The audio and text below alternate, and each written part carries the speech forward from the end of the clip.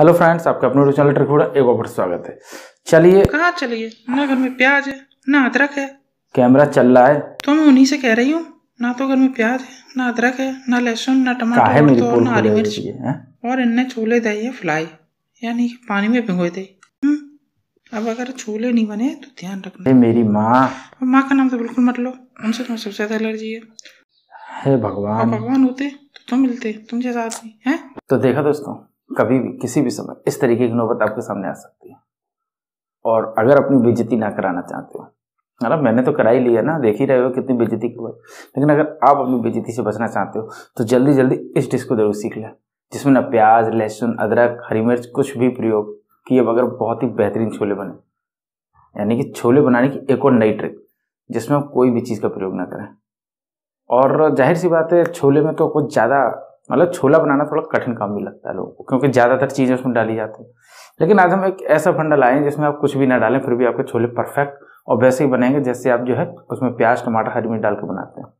चलिए, इसे बनाना ही बहुत आसान है। चलिए, इसे बनाना शुरू करते हैं नोट कर लेते हैं इसके इंग्रेडिएंट्स हालाँकि ज़्यादा इंग्रेडिएंट्स तो नहीं है, लेकिन फिर भी जो भी हैं तो उसको तो नोट कर ही लेते हैं।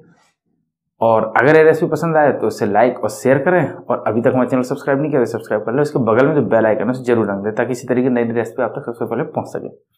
दो कप छोले, जिन्हें मैंने सात आठ घंटे के लिए पहले पानी भिगो के रख दिया था। आप चाहें तो इन्हें पूरी रात भी रख सकते हैं, ये अच्छी तरीके से फूले होने चाहिए।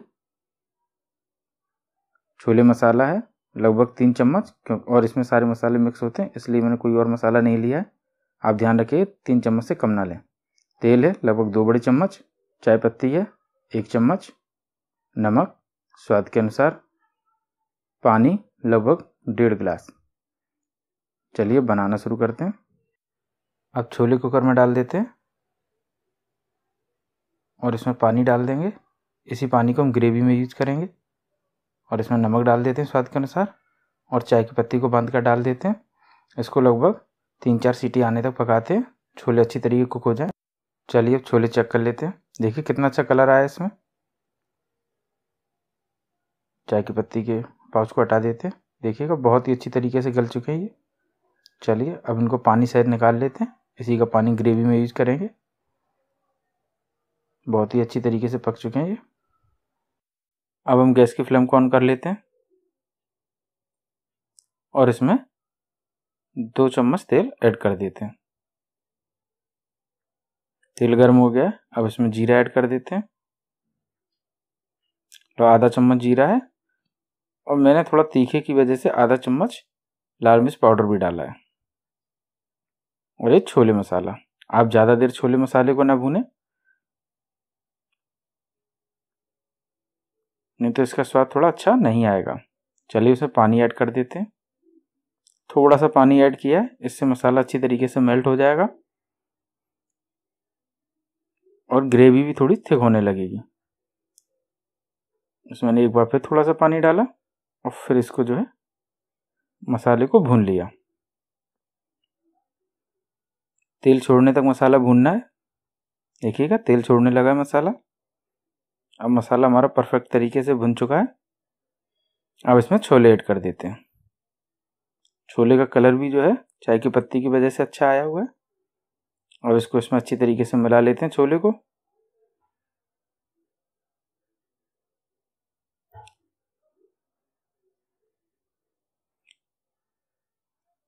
देखिएगा, बहुत ही अच्छा कलर आया है इसमें।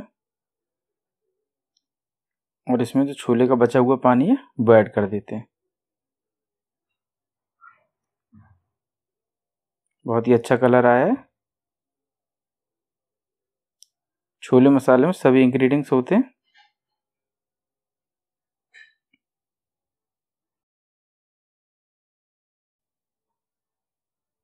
अब इसको ढककर जो है, लगभग पाँच मिनट तक पकाते हैं। चेक करते हैं। अभी ग्रेवी नहीं पकी हुई है। क्योंकि अभी भी इस पर झाग है?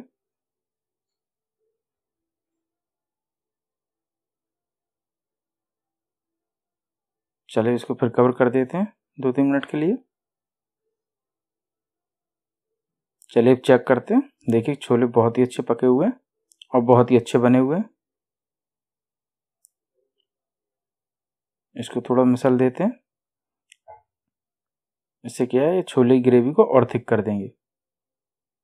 आप चाहें बिना मसले भी डाल सकते हैं। चलो इसमें धनिया ऐड कर देते हैं।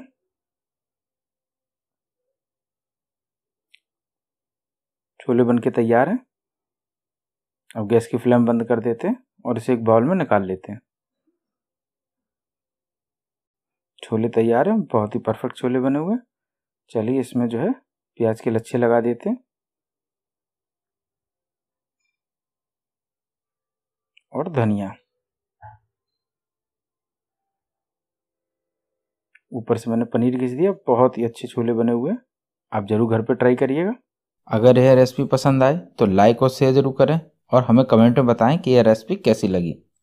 और अभी तक हमारे चैनल को सब्सक्राइब नहीं किया है तो सब्सक्राइब ज़रूर करें और सब्सक्राइब करते समय घंटे को ज़रूर रंग दें, ताकि नई नई रेसिपी आप तक सबसे पहले पहुँच सकें।